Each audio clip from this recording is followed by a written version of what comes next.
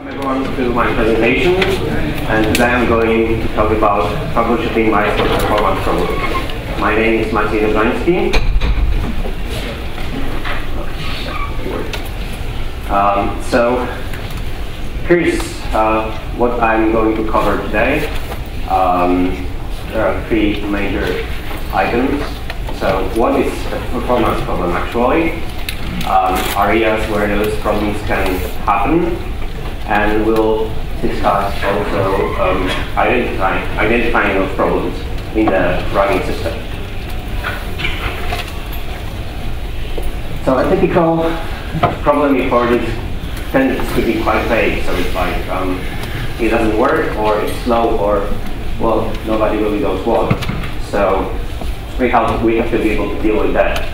So we have to be able to verify what's going on. And it's also because people view performance problems very differently. Everyone has an opinion and everyone has a different perspective on what the performance problem is.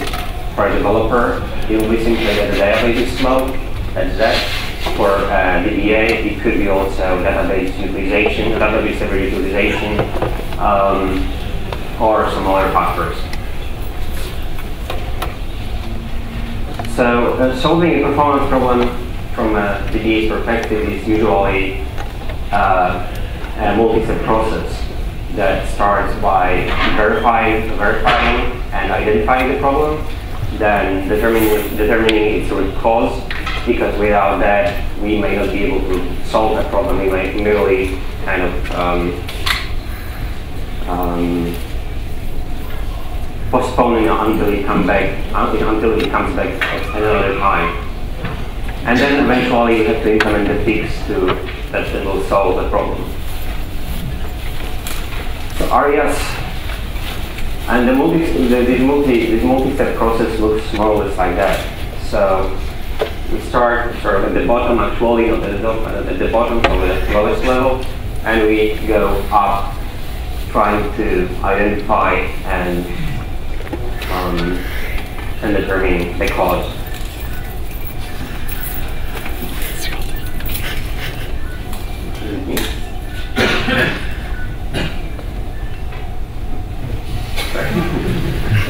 Um, yeah, so we start at the lowest level, the hardware, um, because hardware, utilization, and in particular saturation are um, will always have a big impact on the database performance. Um,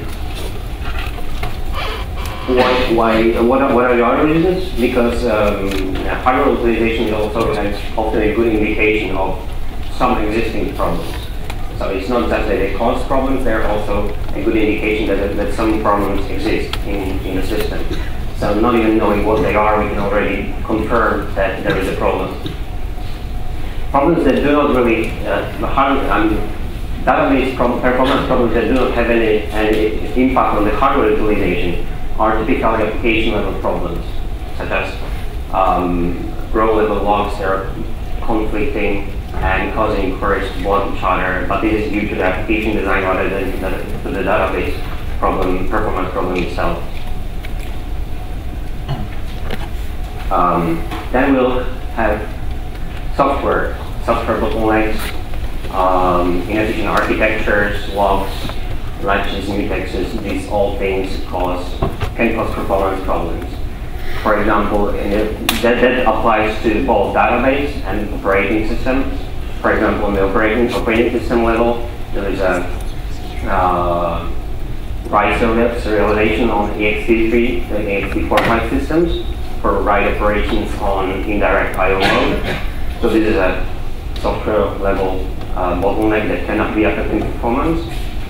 Uh, such, such bottlenecks also exist in, my, in MySQL, and this is why MySQL have been changing so much in the recent years. Of course, bug queries are um, the most frequent cause for performance problems. That's why we have to um, uh, we have to see what they are, we have to see what they do in order to determine uh, whether they, whether this is the part of the system that's causing problems.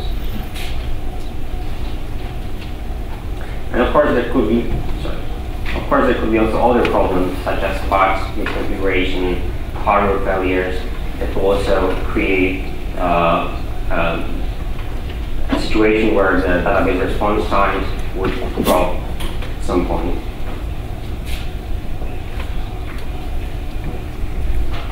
So um, the entire process is about measuring things, different things. So uh, we use monitoring for that graphing system. Uh, we can use tools like here stuff that I'm going to cover uh, more in a, in a few moments. But basically, we collect all the data and we analyze the data. Um, what is important is a sampling interval for our metrics. So the shorter is better, as usual, but also this depends on what we, what we need that these metrics for. So it's um, enough if you have a graphing system that collects metrics for like once every 10 seconds or every minute. But for troubleshooting, that's definitely too uh, too uh, high. You need uh, lowest lowest uh, um, the, the, best resolution possible, which means for troubleshooting, you should be aiming at one second interval for sampling when you're collecting statistics for analysis. And of course, it also depends on the metrics because you don't have to measure disk capacity every second, but you will want to measure request latency every second. So there are a few terms that are being used in implementation, such as resource, which is mostly hardware, such as CPU, storage, memory, network. There, there is uh, utilization, which is basically which defines how busy a resource is. Um, and also there's saturation, which determines uh, when the resource basically stops responding uh, in sort of like a timely manner or stops responding at all um, and starts re returning errors. So let's start with of resources. Of course, the most important one probably is the CPU that does all the work. Uh, there are three parameters that define uh, work that CPU does. It's utilization, which is um, how much work the CPU is actually doing. So for example, if it's busy uh, doing work for 0.7 seconds in a second, then it's busy 70% of the time. Of course, in multi-processor, multi-core systems, each processor, each core can have a different utilization, different load. So, um, um, so it's not it's not the same for every, everyone. Um, there are different modes of utilization. I mean, uh, the utilization happens in different, in different modes. User mode, which is just running user applications such as database, or system mode, uh, which is uh, executing system calls in the kernel or scheduling uh, tasks in the kernel. Also, there are IO waits, which is waiting for disk operations, which is not actually something that CPU does. It's happening sort of in the background, but it's being measured by, uh, by the system. Then, of course, there is a run queue, which is a list of items, a list of tasks that wait for the CPU time. Uh, because CPU may receive more than, uh, can only run one task at a time, it, may, it must be able to queue tasks that it cannot uh, handle at, any given, at, at, a given moment. Uh, and then, in order to be able to run all these tasks in queue, there are context switches that allow those tasks to be uh, run sort of in parallel to uh, provide multitasking. context switching can be voluntary, which means a task defines, a, a, task says that, okay, I don't want to run it right now. Please give the CPU time to someone else.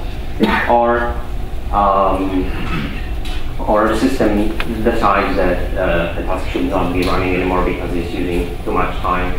Uh, and it should uh, make room for, uh, for a new task to also run at the same time. So measuring CPU utilization happens with a simple tool like mpstat, which breaks uh, utilization into per CPU per core statistics, and also gives the average across all the CPU cores. um, which shows which shows that uh, every CPU basically has, has a different utilization. Um,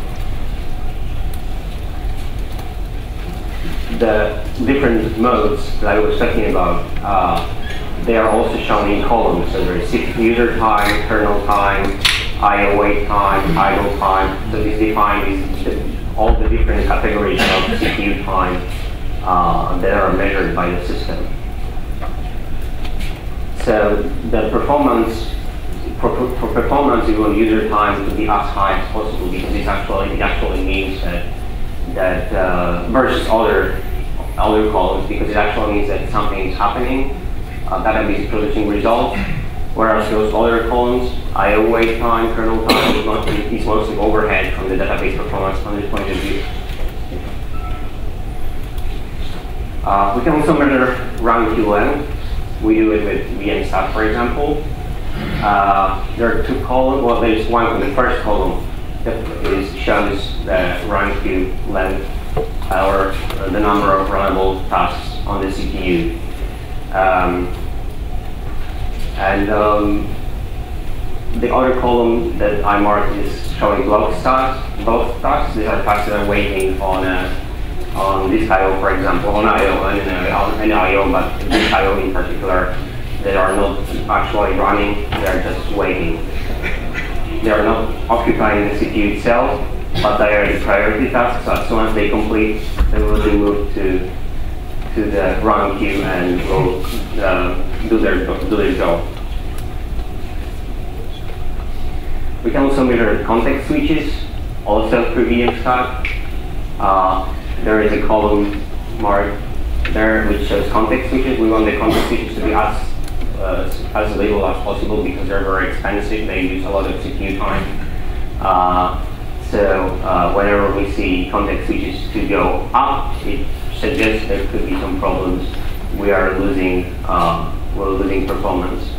Uh, normally, it shouldn't be more than like a few um, like more than 100 100,000 context switches per second isn't isn't a lot. But if you start going into hundreds of thousands, that that's, that's probably a lot.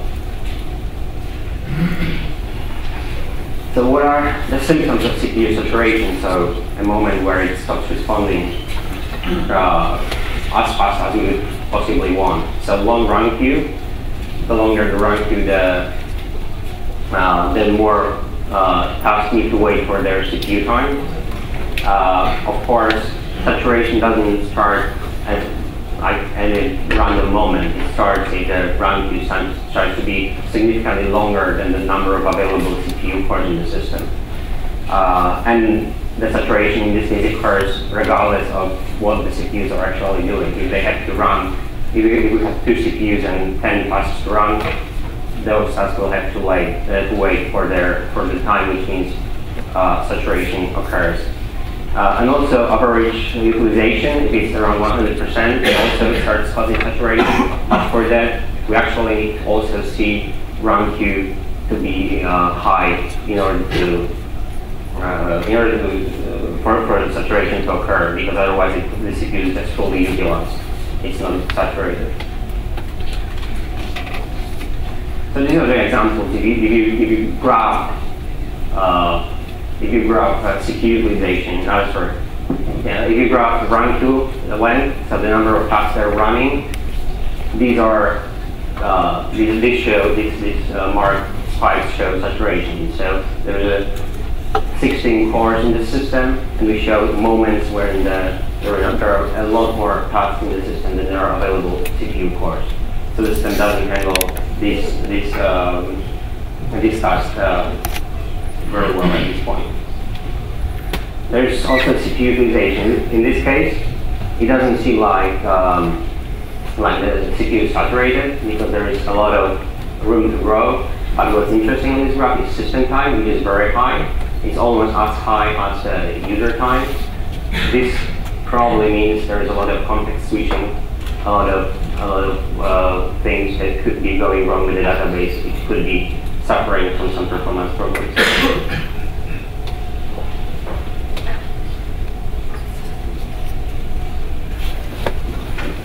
And this is a graph for context switches.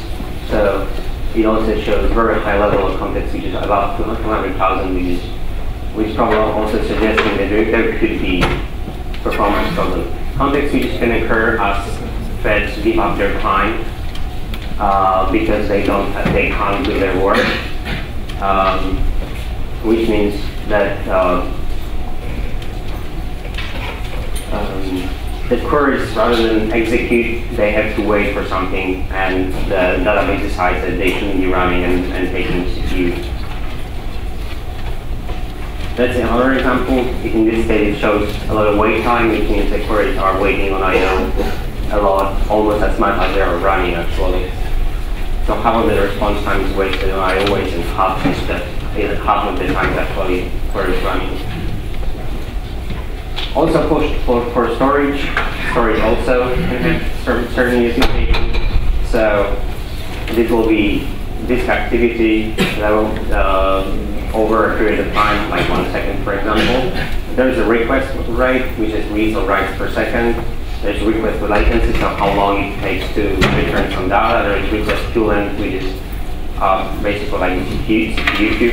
If there are too many requests, if, if requests have to wait to be executed, um, and if there are too many, the queue will be growing longer and the wait will uh, waits will uh, occur. Um, the to mention the system provides a service time and uh, average wait time. Average time, wait time is actually the accurate number because it's something that is pulled directly from the uh, metrics that the system has. Service time is a calculation value and not actually real value. So uh, if you ever read I/O statistics, never track service time. Measuring I/O performance is done through IO IOStat. Uh, you can also use PTDiskStat, uh, which is probably available through uh, Toolkit. Um, these numbers show request rates, queue length, response time, utilization, and don't trust the service time. Uh, saturation is uh, more difficult to determine than the CPU utilization because um, it's you have to basically know what the storage, storage is capable of to be able to tell whether it's saturated or not. So you have to either know uh, the maximum throughput that, that your, your storage can do or to benchmark it. Um, you can also define your own parameters for that, but basically it's uh, there isn't there isn't a fixed number that you can put in put to it. Uh, of course, if utilization is close to 100%, it could mean that uh, there, there is some there it's saturated. But on the right volumes, if you have multiple disks, the system doesn't know about it, so it will show 100% utilization whether one disk is fully used, as well as uh, if uh, sorry, if and all that, all these, all these are fully used, or only one disk may be fully used, and or maybe uh, four disks are only used 25% of the time. So the system doesn't know it, so we'll, we will show 100% for a lot of cases, a lot of, um, but even if it's that the write is not really uh, under such load. A typical uh, this utilization graph um, with um, request rates, reads and writes separately. I/O latency also reads and writes separately. And the string spike, even if we correlate that with uh, between spike latency and read, you can see that there is no correlation, which could indicate that the problem is actually originating uh, in the, for example, the write controller is doing something. The system isn't sending more requests, but the response time grows a lot. So it's not coming from the system, uh, it's coming, or from the database, it's coming from the inside of the storage process.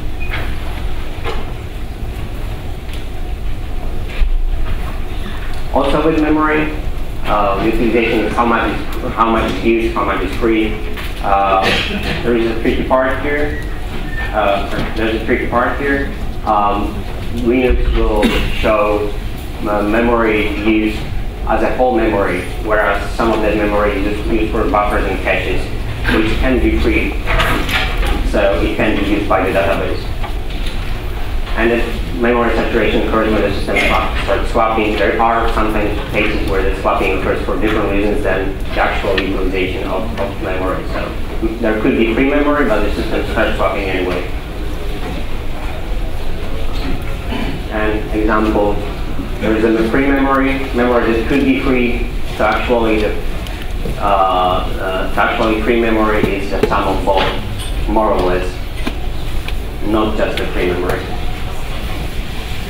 Um, network can also uh, can also be saturated, uh, and also can cause uh, some performance problems. Like in this case, a gigabit is being saturated by MySQL, which you correlate it with with, uh, with a uh, network reach round trip times, you can see that the round trip times grows by a, an order of magnitude when the network interface is being saturated. So this is affecting database to applications as well. So we now move to database. Database provides information schema. MySQL provides a thing called my information schema where you can find all kinds of stuff about database, uh, runtime information, uh, insight into some uh, database internals. Some of these things are only available through Percona server. Some of the things are available in all database versions. So for example, you can see what, what is in the InnoDB buffer pool by listing all the pages and, and doing uh, all kinds of queries against these tables.